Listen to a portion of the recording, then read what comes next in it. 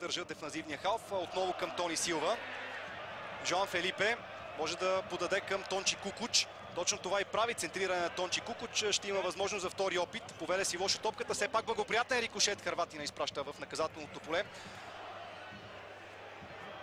Добре прегрупирани в защита играчите на Георги Иванов.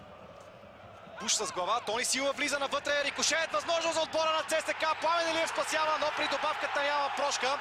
Червените повеждат с 1 на 0 в 22-та минута. Тони Силва е автора на гола. Първата грешка в защитата на Левски беше наказана от отбора на ЦСК и след добрата намеса на Пламен Илиев в първия момент при добавката. Тони Силва не остави шансове на вратаря на сините. Радост сред феновете на ЦСК. Сигнална ракета на тревата, а Тони Силва попада в прегръдките на своите съиграчи. Нямаше какво да направи Пламен Илиев. Стойчо Младенов би трябвало да е доволен от развитието на матча до тук. Наглед Левски бе по-активния отбор, но ето, че сега изостава в резултата. Гледаме внимателно повторението. Центрирането към Буш. Получи се там рикошет в главата на Наймен Балейт. След това втория рикошет позволи на Серджио Буш да се озове на стрелкова позиция. Ето тук Веселин Минев изби, получи се двоен рикошет. Буш стреля, Пламен Илиев отрази, но при добавката на празна врата за Силва не представляваше проблем да отбележи. ЦСКА повежда на Левски с 1 на 0.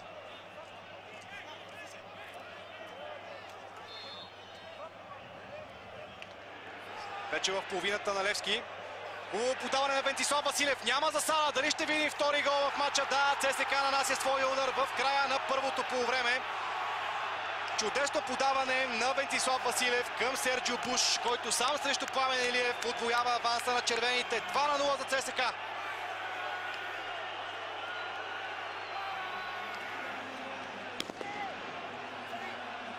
Осми гол за Серджио Буш в шампионата.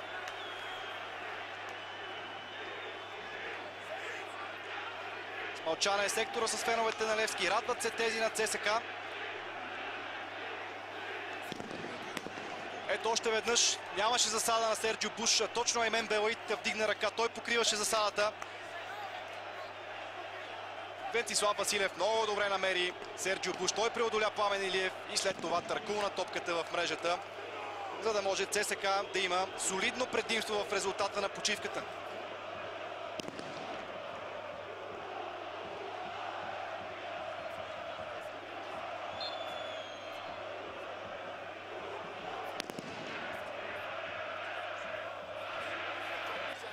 Контратака на червените. Тони Силва през центъра. Подаване към Серджо Буш. Той изчака включването на Луис Суарес Платини. След това отново иска топката Серджо Буш. Намери начин да стреля на далечната града. 3 на 0.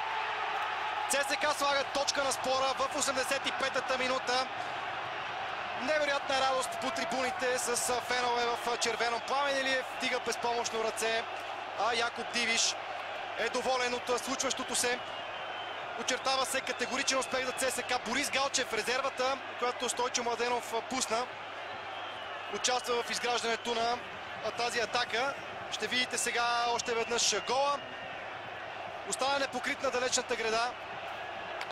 И няма милост. Пламен Илиев е на колене. В положение